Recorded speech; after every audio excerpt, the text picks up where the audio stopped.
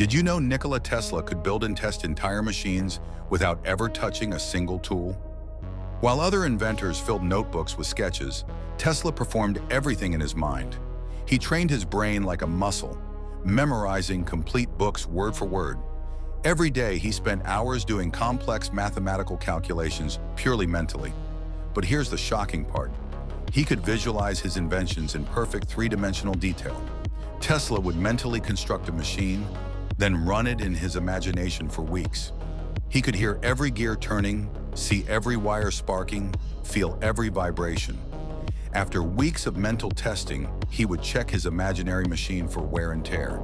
The parts that would break in real life showed damage in his mind too. This ancient practice of mental discipline led to over 300 patents. The alternating current motor, wireless technology, the Tesla coil, all born from pure visualization.